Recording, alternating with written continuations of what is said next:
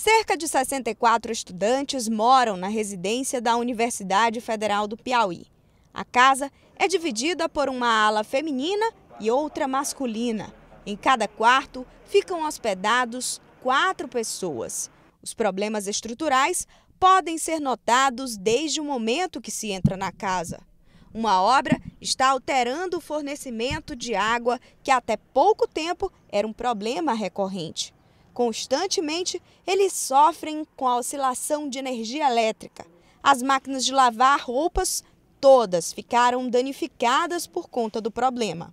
Há uma oscilação de energia na casa que, que, que ocasiona é, a queima de é, eletrodomésticos.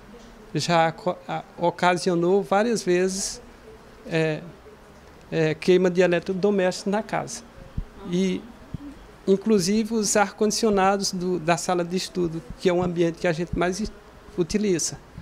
A gente utiliza no dia a dia. E por causa disso, a gente fica sem estudar. Por volta de duas horas da manhã, Rafaela e as outras três meninas começaram a perceber a água invadindo o quarto. Por conta da chuva, uma infiltração começou dentro do quarto, no teto, e molhou os pertences de Rafaela, que estava aqui nessa cama, e também todo o colchão dela. E a gente observa que eles, a gente, eles não dão uma resposta concreta para a gente do que exatamente é, eles podem e não podem fazer, porque a gente fica meio a, a mercê de uma resposta que que eles não, eles não dão para a gente. E a gente vai aguardar o que, que vai ser feito a partir de agora. O prefeito universitário foi procurado pelos estudantes ainda durante o final de semana, mas afirmou que só poderia fazer alguma vistoria na segunda-feira. Segundo ele, o problema da infiltração foi apenas uma telha quebrada. Uma telha quebrada, né, que não, nós não tínhamos conhecimento, naquela chuva de, de sábado à noite, né, sábado para domingo, Aí houve um vazamento. Não chega é, e molhou o forro do quarto. Mas não teve inundação, como o pessoal exagera.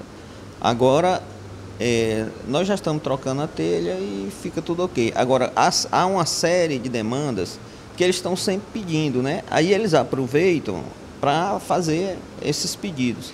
Uma outra casa deve ser entregue até o fim do ano e a divisão entre homens e mulheres será por casa. No entanto, eles dizem que precisam dos reparos nesta casa. Falta comprometimento, sobretudo da parte dos gestores, e mais cuidado com a residência universitária, porque a gente vem, a maioria de nós, vem, a gente vem do interior, entende?